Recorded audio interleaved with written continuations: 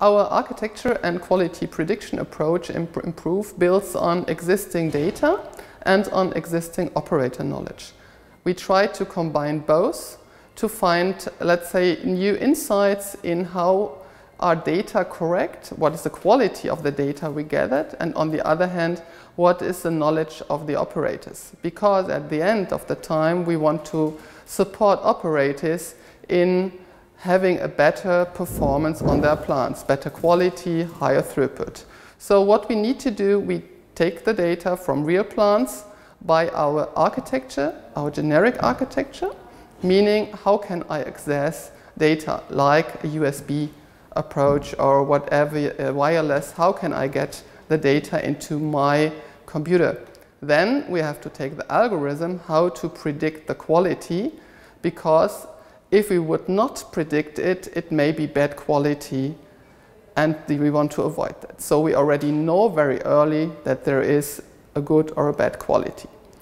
We can show that to the operator and he or she can then manipulate the plant accordingly.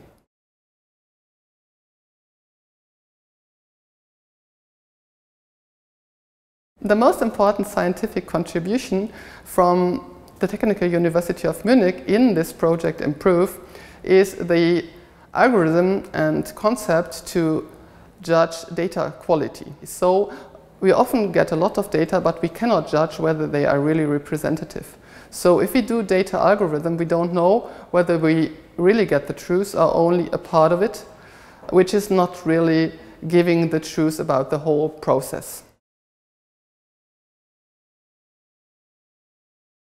Yeah, some of the future challenges is uh, how to figure out and visualize for operators that they only have a specific part of knowledge. Of course, we know an operator who has 30 years of experience has a lot of different, uh, let's say, knowledge about recipes uh, compared to an operator who has only two years of experience.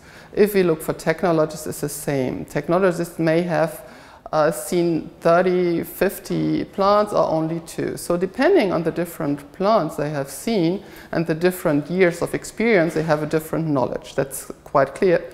And also the same is true for the data. If we have only data from one plant, they may not be acceptable for others. So the main challenge for future combining the operators on the one hand and the data on the other hand is to somehow visualize this mismatch. So if I'm an operator at a specific plant, what part of the data analytics, what part of the mental model I would need to get to improve my operation of the process.